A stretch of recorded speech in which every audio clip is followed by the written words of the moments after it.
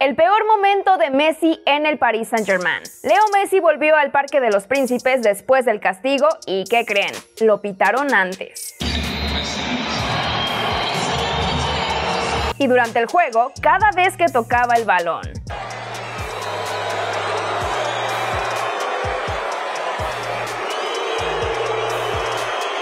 Qué incomodidad me genera ser testigo de semejante falta de respeto, decía el narrador de ESPN en medio del partido. Igualmente, una parte de la afición también lo aplaudió y coreó su nombre sin la presencia de los ultras parisinos que hicieron huelga y no fueron al estadio.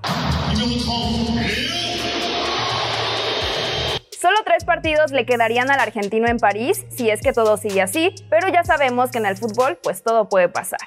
Ya en la cancha, el PSG no tuvo problemas y le ganó 5-0 al Ajaxio con goles de Fabián Ruiz, Hakimi, un autogol y doblete de Mbappé para casi asegurar el campeonato.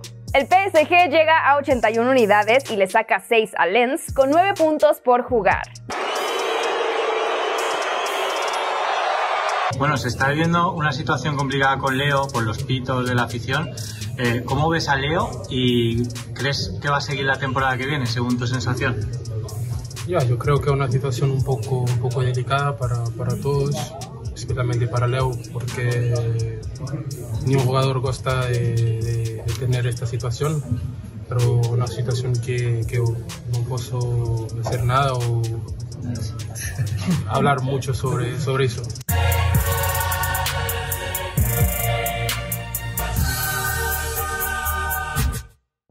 Milan volvió a perder y esta fue la imagen que impactó a todos en Italia. Los Ultras llamaron a los jugadores y a Pioli al final del partido para pedir explicaciones cara a cara durante varios minutos por cómo le está yendo al equipo. No fueron reclamos, nos dieron ánimos para el derby del martes, dijo Pioli al ser preguntado por este tema. Después de la caída 2 a 0 contra Spezia en Serie A, el Milan sigue en una mala racha. En sus últimos 15 partidos cuenta con 4 victorias, 7 empates y 4 derrotas, con solo 2 triunfos en los últimos 8 juegos. Además, se está cayendo de la zona de clasificación a Champions, quedando de momento en el quinto puesto, aunque todavía hay que esperar qué pasará con el nuevo castigo a la Juve. Una semana de pesadilla para los Rossoneri, que ahora se concentran en tratar de remontar el 2 por 0 en contra en la ida de semifinales de Champions ante el Inter. La derrota de esta noche complica nuestros objetivos. Tenemos la Champions League en mente, jugaremos en donde podemos pasar a la historia. Tenemos que creer que podemos vencer a Inter. No nos quedan muchas oportunidades para que la temporada sea positiva, dijo Pioli tras la dura caída contra el Spezia. Cracks, ¿qué creen que pase con el Milan en la revancha por la semi de Champions? Ya saben, dejen sus pronósticos en los comentarios.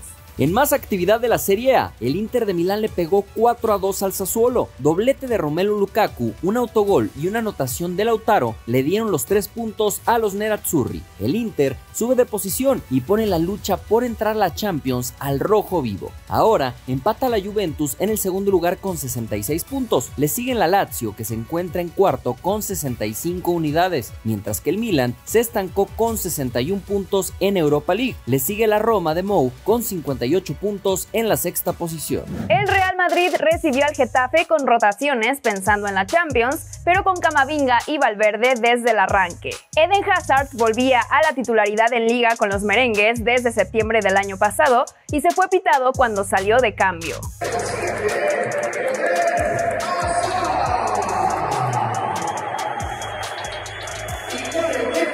Con mucho sufrimiento, el Real Madrid no encontraba el gol. Fue hasta el minuto 70 cuando Marco Asensio rompió el empate y le daba los tres puntos a los merengues. Con la victoria del Madrid, el Barça no podrá ser campeón antes de jugar el derby contra el Español. Ahora, la pelea estará por el segundo lugar de la liga, que de momento recuperan los merengues, esperando lo que pasará este domingo con el Atleti en su partido contra el Elche.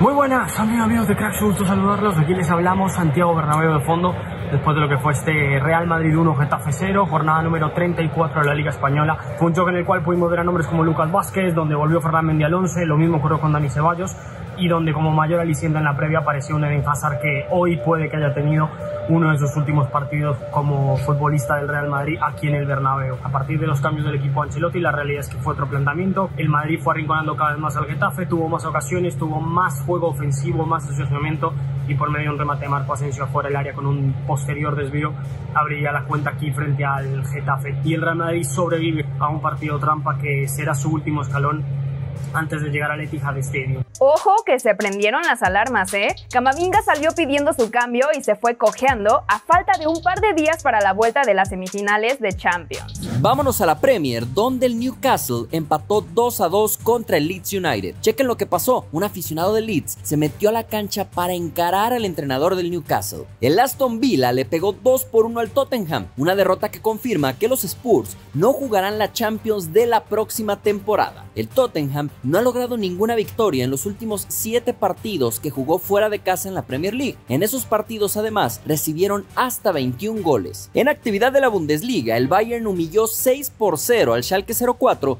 que pelea por no descender. Esto con goles de Müller, Kimmich, Tell, Masraoui y doblete de Gnabry. Más tarde hubo otra goleada, ahora por parte del Borussia Dortmund con un 5 por 2 al Mönchengladbach. Ahora solo quedan dos fechas para conocer al campeón de la Bundesliga. El Bayern es líder con 68 puntos, mientras que el Dortmund acecha a los bávaros con el segundo lugar y 67 unidades. Así, solamente hay un punto de diferencia con dos partidos por jugarse. Las noticias breves que tienes que conocer en corto. Mauricio Pochettino será el nuevo entrenador del Chelsea. Pochettino ya aceptó todas las condiciones del contrato a largo plazo. Es cuestión de tiempo para que los Blues lo hagan oficial. El entrenador se unirá al Chelsea en junio, así lo adelantó Fabricio Romano. Ansu Fati y Ferran Torres no se irán a Aston Villa, así lo confirma el diario Sport, explicando que Mateu Alemani tiene un pacto secreto con el Barcelona de no fichar jugadores culés por su salida con los villanos. Madrid o Manchester City. A nivel personal y por David Alaba, soy un poco más del Real Madrid fue la respuesta de Thomas Müller sobre las semifinales de Champions para Kicker. El Milan ya tiene un acuerdo verbal con Daichi Kamada para su primer fichaje de cara a la próxima campaña, pero los rossoneri siguen sin saber qué pasará con el futuro de Brahim Díaz, así lo aseguran las fuentes de Calcio Mercato. Con otra nueva portería en cero de David De Gea, el español asegura el guante de oro de esta temporada en la Premier. Su competencia, Pope, Allison, Ramsdale y el Dibu, tienen menos partidos que jugar. No conozco los planes del Chelsea. Tal vez un nuevo entrenador lo quiera ya. En una escala del 1 al 10 diría que Lukaku tiene 6 oportunidades de jugar en el Inter la próxima temporada, comentó Giuseppe Marotta, director deportivo del Inter.